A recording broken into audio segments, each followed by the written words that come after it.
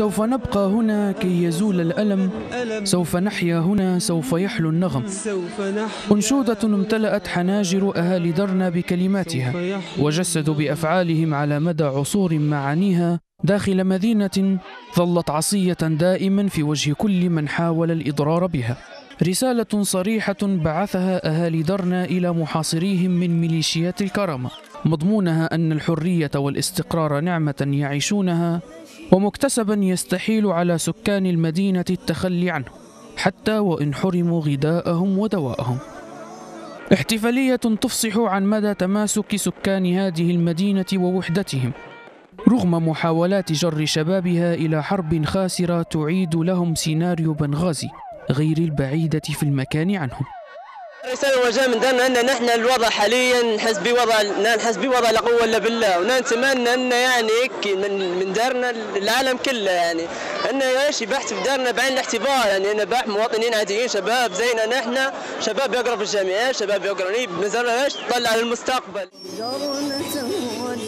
تكبيرات وأهازيج تعالت في الميادين وأعلام الاستقلال منصوبة تكاد في كل بيت ضمن فعاليات عفوية احتفالا بعيد الثورة السابع.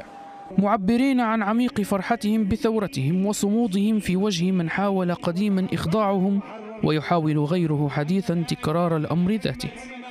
أمن وبناء. شعار رفعه كل أبناء المدينة بجميع مكوناتهم.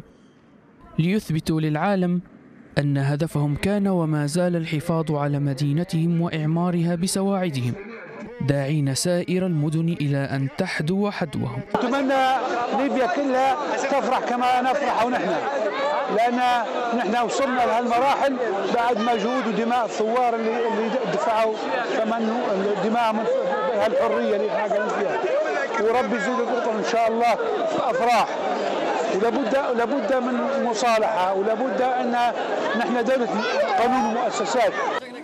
ها هي درنا والحصار من حولها تعود ككل عام وتحيي ذكرى ثورة فبراير.